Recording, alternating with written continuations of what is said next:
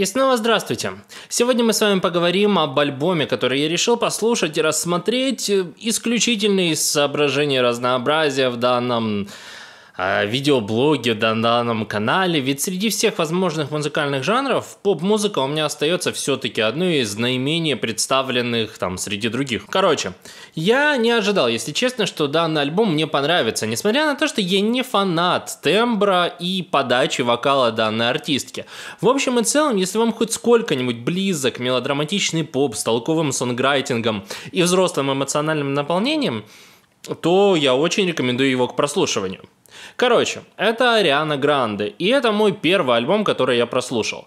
Говоря откровенно, э, никогда особо не слушал Ариану от начала и до конца, но чаще видел на фитах у других поп и хип-хоповых исполнителей.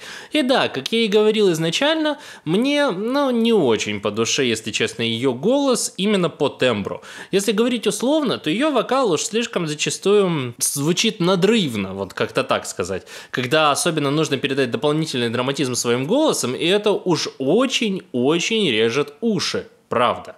Поэтому, как вы можете догадаться, не имея никакого дополнительного бэкграунда касательно ее творчества, данный альбом Арианы вообще для меня не представлял ну никаких эм, ожиданий, да? Альбом называется «Спасибо, следующий» в честь соответствующего трека под конец альбома. И я не могу сказать, что я как-то уж слишком концептуально альбом, да, могу выделить среди всего того, что мы могли бы слышать э, среди других поп-релизов. Содержание общий посыл – это мелодрама в различных ее ипостасях. Не знаю точно, но мне также кажется, что подобный посыл был подан и в предыдущих ее работах, вот честно. Опять же, чисто предположение. Хотя я и не исключаю того простого факта, что именно в этой фразе «спасибо, следующий» есть здоровый кусок личных переживаний и определенной биографичности, тем не менее, я не могу его назвать как прямолинейный сторителлинг из разряда рефлексии на тему тщетности любовных отношений и вообще тщетности бытия. И да, я понимаю, что текст именно вот титульного трека как раз и описывает любовные перипетии Арианы, где она подает текст в стиле «Я мало кого любила, второй надоел, третьего забыла», перечисляя своих бывших бойфрендов и э, всех остальных, да, с которыми как-то там не срослось, но остальные треки имеют намного более абстрактный текст, и он может быть применен практически каждому, кому знакомы внутренние конфликты и мелодраматичные метания из крайности в крайность. Например, если в треке Imagine поется о том, как хорошо и прекрасно было бы существовать в гармоничных и теплых отношениях, вот любовную, да, то уже к треку Bloodline поется как раз наоборот, что дословно, да, что я не хочу тебя иметь в своей родословной, да, если уж совсем притягивать, да, за уши и адаптировать этот припев. Конечно, здесь нет такого какого-то там высокого уровня художественности, даже уровня какой-нибудь Ланы Дель Рей или Леди Гаги.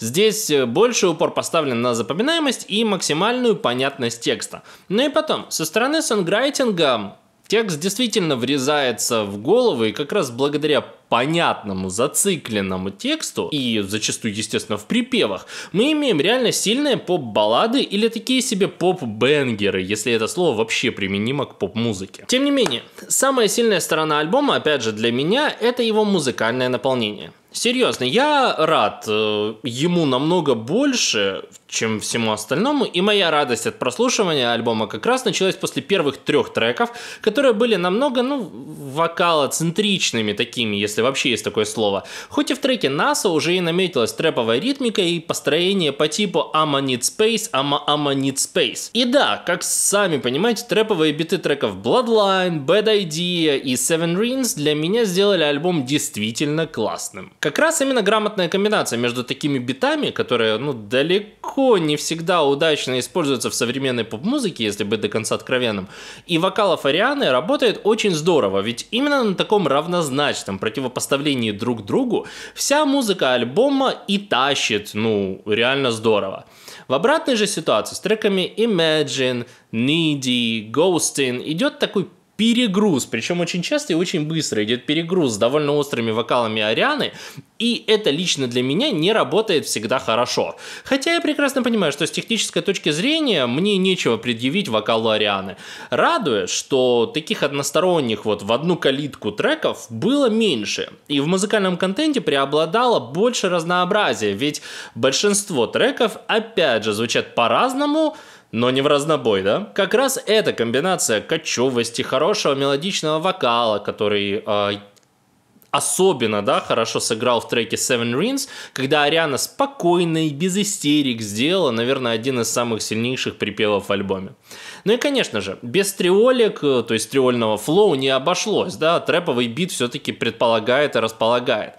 То есть, в итоге мы имеем реально хороший поп-альбом, который и правильно подан в эмоциональном плане, без сальных и пошлых текстов, зато с хорошей кочевостью и мелодикой. Поэтому 4 из 5. А на этом все на сегодня. Всем спасибо за просмотр. Если вам понравилось данное видео, то ставьте лайк. И если вы оказались тут впервые, то не забудьте подписаться на канал. Напишите в комментариях, слушали вы альбом или нет, понравился вам альбом или нет, и на что мне сделать обзор в будущем.